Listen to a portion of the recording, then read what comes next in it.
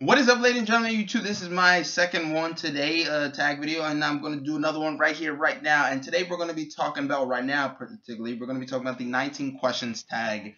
Um, I don't write these. Apparently, these are these are kind of dumb questions. I don't know why, but I, for second it is. That's just what I think. And here it is. Let's talk about these questions as quickly as possible. Ready?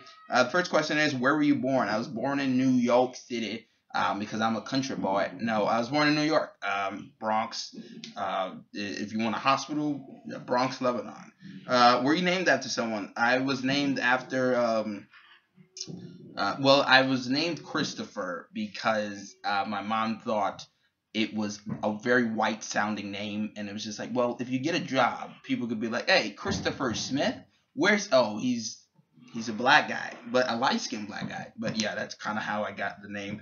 Um, when was the last time you cried? last time I cried was um, it was uh, Toy Story three. Very sad. Uh, if you were another person, who would you? If you were another person, would you be friends with you? I would, but then I realized myself is a, a bit of an asshole on occasions. Uh, so yeah, I don't know. Do you have any pets? No, um, unless you count roaches. Um, do you use sarcasm? I I do use sarcasm a lot. Uh, well, actually, no, I don't try. I don't use it too much. But for some reason, people always think I'm being very sarcastic. Uh, it just, it's just the way it sounds. My voice is. My voice is more sarcastic than in videos that I make. But uh, would you bungee jump?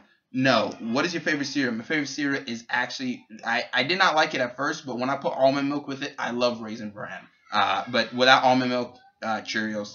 Okay, scary movies or happy endings? I would choose happy endings. Why not give a happy ending to something? You know, uh,